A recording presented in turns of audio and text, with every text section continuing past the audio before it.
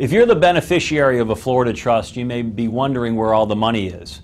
Consider two scenarios. One, you thought the trust had a whole heck of a lot more money than it does. Or two, you don't even know how much money is in the trust. In either case, the trustee is supposed to tell you how much money is in the trust, and they're supposed to give you an accounting for their entire tenure as trustee. Oh, and by the way, if there was a prior trustee, you should be able to get that information as well and see where every dime went who spent it or who took it.